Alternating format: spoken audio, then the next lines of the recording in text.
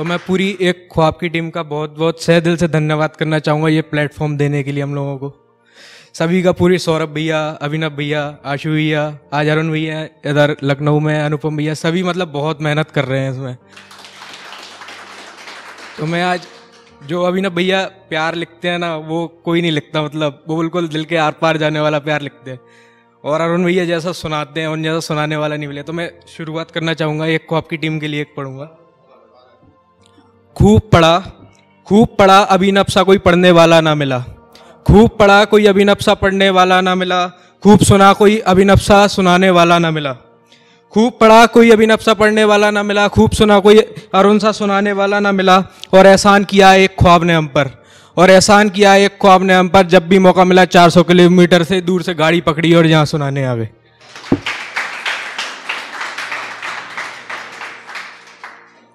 सुनिएगा। अपनी मोहब्बत को मशहूर बना जाऊँगा। अपनी मोहब्बत को मशहूर बना जाऊँगा।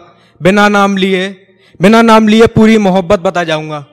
अपनी मोहब्बत को मशहूर बना जाऊँगा। बिना नाम लिए पूरी मोहब्बत बना, बता जाऊँगा। और लिख लिख कर कागज़ के पन्ने पर। और लिख लिख कर कागज़ के पन्ने पर दिल में छुपे सारे आंसुओं को भी मुस्कुराहट बता जाऊँगा। तेरे मेरे किस्से सारे उन पन्नों में छिपा जाऊँगा। तेरे मेरे किस्से, सारे उन पन्नों में छिपा जाऊँगा जिसमें तेरा नाम आए। जिसमें तेरा नाम आए, वो सारे, जिसमें तेरा नाम ना आए, वो सारे मुँह जबानी सुना जाऊँगा।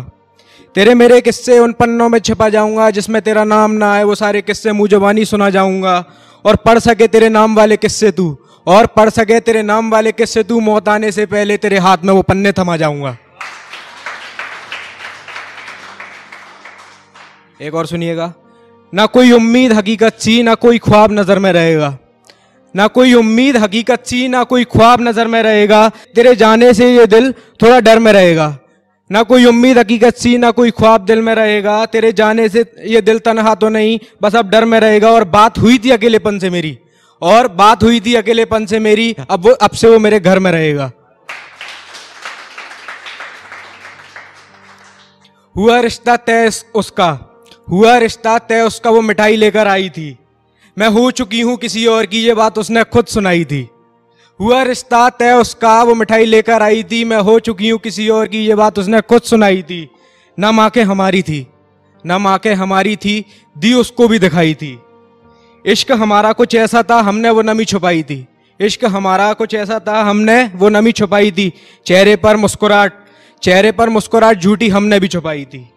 वो खुश रहे हमेशा, वो खुश रहे हमेशा, इसलिए हमने भी दी उसको दिल से बधाई थी।